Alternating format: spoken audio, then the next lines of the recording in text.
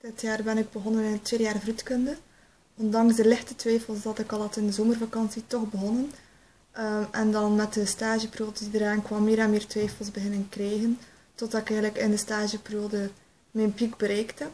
Ehm, enorm begin twijfel met mijn ouders beginnen overleggen wat doen, wat niet doen.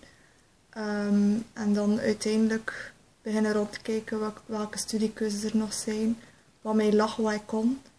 En sinds deze week ben ik veranderd van studierichting. En sinds ik de keuze gemaakt heb, is er een enorme last van mijn schouders gevallen.